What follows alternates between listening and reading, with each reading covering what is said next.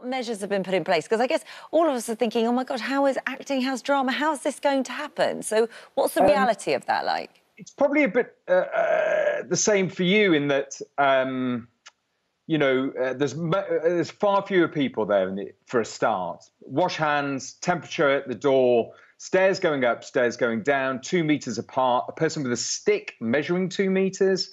Um, costume left for you, makeup you do yourself. Once you get on set, far fewer people.